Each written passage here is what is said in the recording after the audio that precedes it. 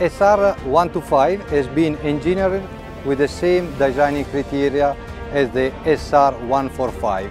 It is a multi-purpose drilling rig suitable for performing several technologies such as bore pile, continuous flight auger, displacement pile, turbojet and case secant pile.